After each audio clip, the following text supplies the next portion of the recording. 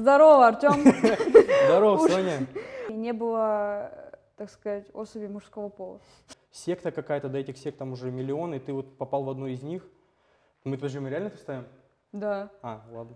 И вот так потихонечку, помаленечку. Можно по новой, да? Привет, друзья! И это шестой выпуск подкаста «Взгляни иначе». Сегодня мы обсудим тему внутреннего одиночества и как Бог способен ее излечить. Сегодня у меня в гостях Артем Санкин, и я думаю, ему есть что тебе рассказать. Здорово, Артем! Здорово. Соня.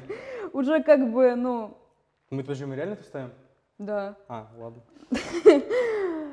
Начнем с того, э, с какого возраста ты начал служить, так как ты тоже являешься с детства верующим человеком, ты как бы ходил в церковь, но поспрашивая людей, мы поняли, что то, что твои родители являлись или являются верующими, это вообще не дает никакой гарантии, что человек тоже переживал Божье присутствие, ребенок в том числе. И с какого возраста у тебя что-то перещелкнуло, когда ты почувствовал первый раз Бога, или просто когда ты решил взять ответственность, взять служение, и ты понял, что тебе это правда важно, и, а ну, что ты не заложник образа жизни своих родителей. Так, ну служить я начал, по-моему, с года 20-го, как раз э, когда я начал какую-то более активную жизнь, наверное, в церкви, потому что надоела вот эта мирская суета, и я замечал, что начал, ну, как бы начала тянуть э, к себе. И я постарался отдалиться таким образом, что прийти в церковь и как-то ну, проявить себя даже в том, э, что мне не нравится. И как раз-таки на тот момент у нас не было медиаструктуры в подростковой церкви, и на какой-то совет меня, по-моему, пригласили, и я решил просто начать это, потому что этого не было. Ну, изначально, конечно, я это начинал не потому, что я, наверное, горел этим, а потому что этого просто не было, и так хотя бы как-то себя проявлю. Но вот Мгм. э, э, до сегодняшнего дня я также снимаю, и мне, наверное, стало больше нравиться это делать, чем вот когда я начинал. Потому что я, ну, как-то больше этому времени э, стал в плане уделять. То есть я какие-то видео смотрю, чтобы наша структура не застаивалась вот в этом моменте. Ну вот начал, наверное, года два уже. Вот так Ну, служу. то есть ты начинал, по сути, один, а сейчас у вас уже есть команда Да, полноценная, у нас есть которая команда. отвечает за каждую, ну, то есть за каждую какую-то... Да, она потихонечку, помаленечку развивается. Ну, помаленечку, конечно, это тоже э, слабо сказано. За два года мы, в принципе, я думаю, сделали очень много. И, в принципе, сделали почти все, что могли. Ну да, с- начиная, когда мы, ну я помню, я стояла, фотографировала на свой телефон служение, да, Мгм. и снимали какие-то отрывки видео, потому что, ну, нужно было как-то показать то, что у нас вообще в принципе есть служение, а сейчас у нас уже есть прямые трансляции, фотографии, а, Инстаграм и различные вот такие вещи, очень, да, такое сильное развитие произошло. А, такой вопрос хотела тебе задать. Часто ли ты сталкивался с тем, что ты не находил единомышленников в кругу церковных ребят, и ты чувствовал сильное одиночество внутри из-за этого? Потому что я помню, что когда даже буквально два года назад у нас э, было намного меньше количество человек в церкви, и не было, э, так сказать, особей мужского пола. Ну, в плане единомышленников, да я их и бывает сейчас не могу найти. Но что я заметил именно, что поменялось, так это, допустим, года три назад. Если я не замечал каких-то един- единомышленников или людей, которым как бы я нравлюсь вот такой, какой я есть, то я начинал уходить в себя, то есть вот я никому не нужен, там лучше я пойду в мир обратно, мне там легче, там все друг другу врут, там лицемерят. И как бы я думал, что это такая хорошая картинка. Но потом, вот в декабре, наверное, в январе, когда у нас прошел выезд, э, ну, я начал задумываться тоже. Меня всегда вот эта мысль как бы тревожила в плане э, друзей, общения. Я постоянно и задавался, наверное, на протяжении года, ну, лет трех. И вот в январе, после выезда, для меня все немного по-другому открылось. Там я понял, что если у меня не получается заладить какой-то, ну, компании одной, я иду в другую и стараюсь как-то там общаться. То есть я не стал искать себе единомышленников, потому что я понимаю, что каждый человек абсолютно разный, и ну, почти нереально будет найти абсолютно такого же, как ты. И поэтому я начал просто принимать э, то, что люди такие, какие они есть, у каждого свои интересы, и с какой-то стороны начал даже углубля- углубляться в интересы других людей, чтобы мне легче было с ними общаться. И вот так потихонечку, помаленечку, с э, января, ну, я замечаю, что я как-то более открылся, наверное, и в миру у меня стали друзья появляться, но я стараюсь в миру не общаться на их территории, то есть о их каких-то темах, э, я им заранее говорю о том, что вот я вот верующий, да, что я сразу какие-то, допустим, условия ставлю, и если они как бы готовы их принять, то это круто. Но если не, они не готовы их принять, то я, соответственно, не, не откажусь от этого, от общения с ними. Я просто буду показывать своим примером, что вот я христианин, и люди ну, будут меняться. И у меня Ты даже не есть идешь пример на такой. компромисс. Да. И у меня есть примеры такие, что вот там есть тоже пару друзей, и они давно знают о том, что я верующий. И вот когда мы общались, получается, до того, пока я не рассказал им о том, что мы верующий, у нас была прям, я бы сказал, идеальная дружба. Потом, когда я им рассказал о том, что я верующий, соответственно, они как-то начали, ну, с презрением на это смотреть, что ли, типа вот секта какая-то, да этих сект там уже миллион, и ты вот попал в одну из них. Но со временем э, они как-то подутихли, и сейчас вот я вижу, что мой пример как христианина на них влияет. Мгм. Они перестали материться, они отказались там от многих вещей в плане алкоголя, всего вот этого. И вот как раз таки к чему я веду, что как я ушел от одиночества, я старался общаться со всеми, даже если, допустим, мне что-то в них не нравится, то я просто буду учиться общаться с людьми. Вот и все. Ты начал помогать Да, людям. потому что в Библии написано, если хочешь быть дружи... если хочешь иметь друзей, то стань сам дружелюбным. Мгм. И я эту, э, это местописание стал использовать очень часто. Просто на самом деле это правда действенный способ, когда тебе плохо, просто начни помогать людям, у которых такая же проблема. Мгм.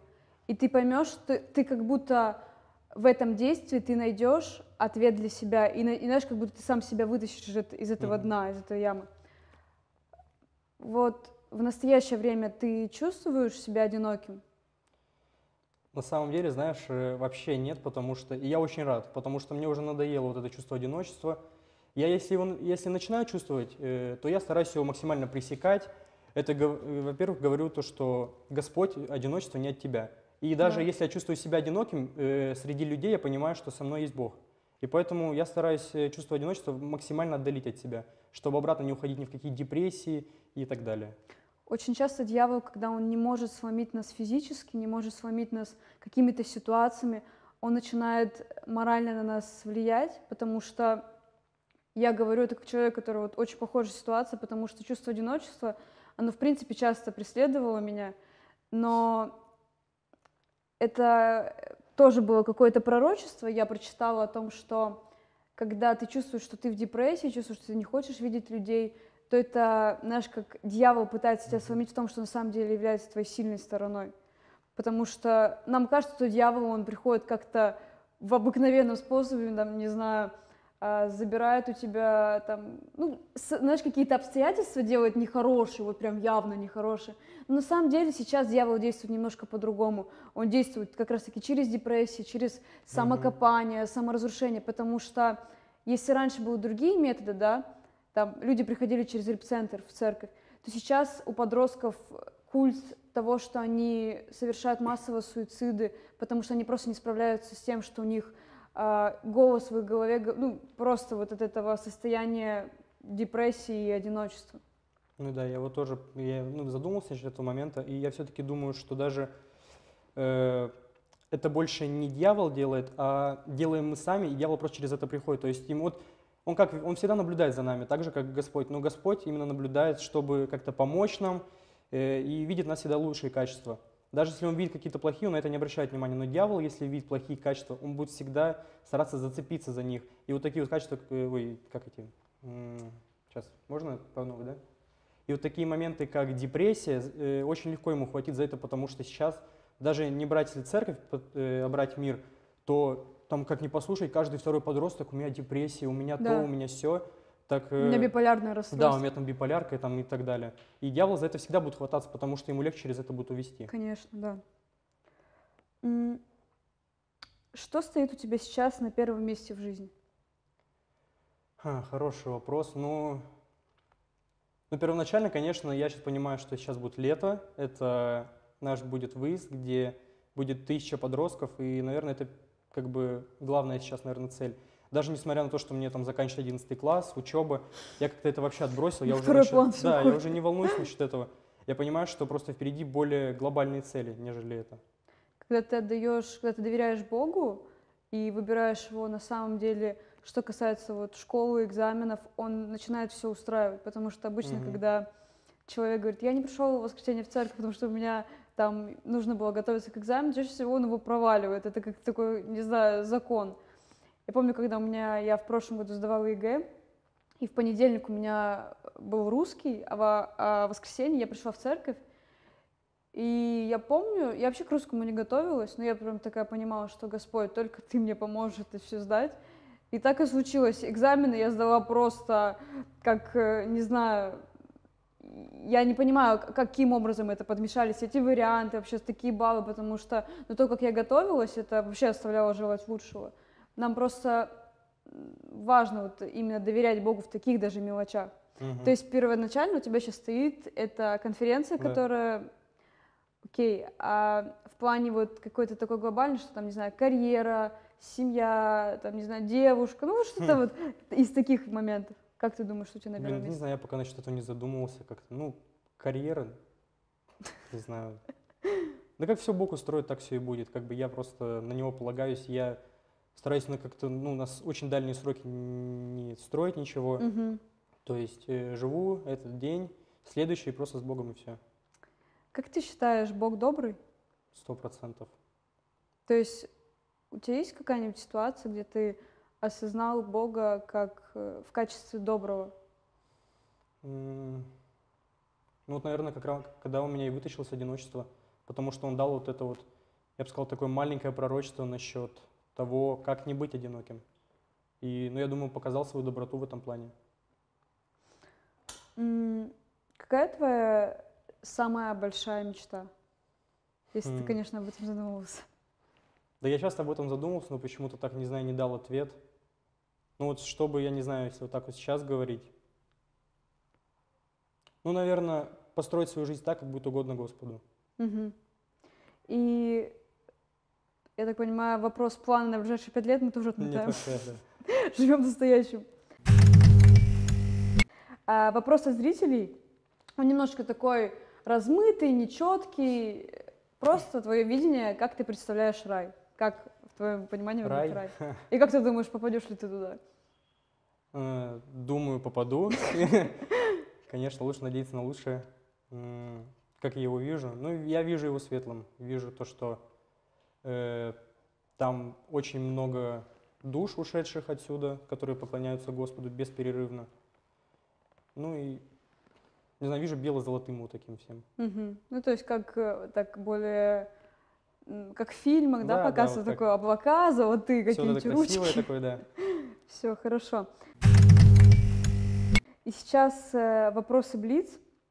Я задаю тебе вопрос, ты отвечаешь односложно, не объясняя почему. Mm. А, любимый стих из Библии? Uh, от Иоанна 3,16. Мечта, которую вложил Бог? Поднять медиа, наверное, структуру. Какой сезон с Богом проходишь сейчас? Учение.